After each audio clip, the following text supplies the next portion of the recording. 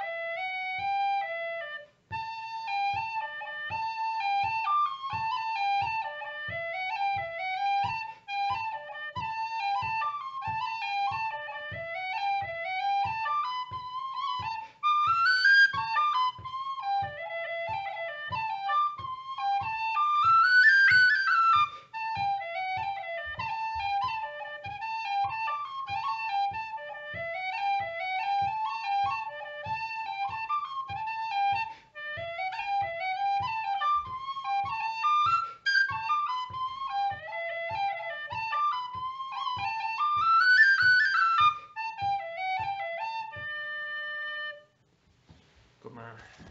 So, so you catch a, uh, there's a great version of it by the Bothy Band, which is really, um, you heard of the Bothy Band?